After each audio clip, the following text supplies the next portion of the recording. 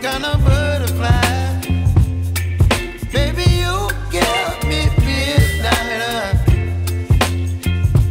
You whip up my appetite. Don't leave me here.